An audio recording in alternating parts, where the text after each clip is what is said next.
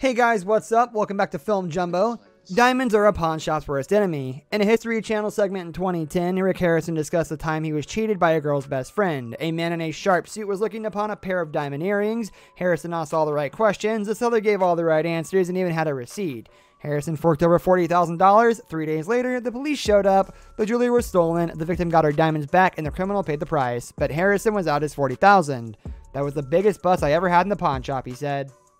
They were sued by their original TV agents. While the pawn business can be perceived as a dirty game, the entertainment industry is right there alongside it, especially in the cutthroat world of celebrity representation. In 2012, all three Harrisons, as well as Chumlee, were sued by their ex manager. The network, meanwhile, was sued by the talent agency that represented them, Venture IAB. According to TMZ, their ex-manager Wayne Jeffries claimed that the Pawn Stars crew dropped him after a dust-up concerning his handling of their response to A&E spinoff show, Cajun Pawn Stars. Venture IAB's lawsuit alleged that History Channel execs worked with another agent to lure the guys away from them. Jeffrey sought unspecified damages, but Venture IAB sued for more than 5 million. The Venture suit seems to have been eventually dismissed, and Harrison, for his part, didn't seem to be phased by the legal drama. When asked about the Jeffrey suit, Harrison told Fox News, the more money you make, the more times people sue you. People are always going to eventually go to sue you for something. The show is an international hit. Having now been translated into 38 languages and aired in 150 countries, Pawn Stars is a bona fide international hit. In fact, Harrison claims he's been mobbed by people in Buenos Aires, the Philippines, Kuala Lumpur, New Delhi, adding everywhere in the world people know the show. The guys even did an Asian tour in 2013, during which Las Vegas now said they were greeted as if they were the reunited Beatles. And according to OKJ Discoveries, fans lined up for hours at various meet and greets events attended by Harrison and his son, Corey Big Harrison, for the chance to lay eyes upon the reality stars. It's pretty remarkable to think a TV show could turn a couple of guys from a pawn shop into megastars on par with rock and roll legends. The old man passed away in 2018. Sadly, no one lives forever despite Chumlee's fondest wishes. On June 25, 2018, TMZ reported that Richard Harrison, more commonly known to fans of the show as the Old Man, had passed away at the age of 77. His son, Rick Harrison, broke the news to the world. that The Old Man Harrison has passed away this morning, surrounded by those he loved. He will be tremendously missed by our family, the team at Gold and Silver Pawn, and as many fans the world over.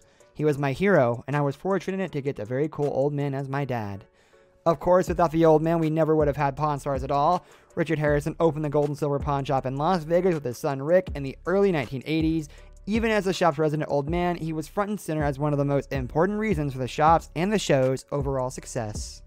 Saying their final goodbyes Sunday to 77 year old Richard Harrison. It's not going to be the same.